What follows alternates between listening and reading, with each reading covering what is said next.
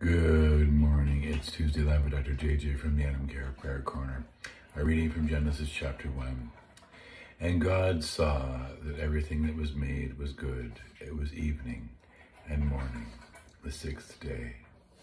When we speak of goodness, it's more than just a word that, that's light and fluffy. It's the word that speaks the depth and core of who we are, the roots of where we come from. The moment of God making goodness happens in the first moments of our own creation.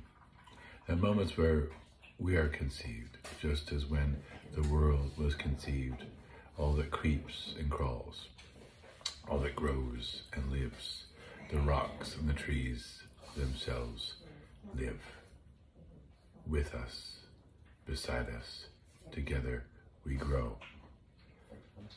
The gift of knowing that creation is a part of who we are and part of something that we're joining in and growing in is the greatest gift we discover then and now.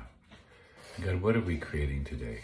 Help us take notice and see for the first time. And God, break in, touch our hands. And God, break in, ignite our eyes and God break in. Stir the breath, and God break in.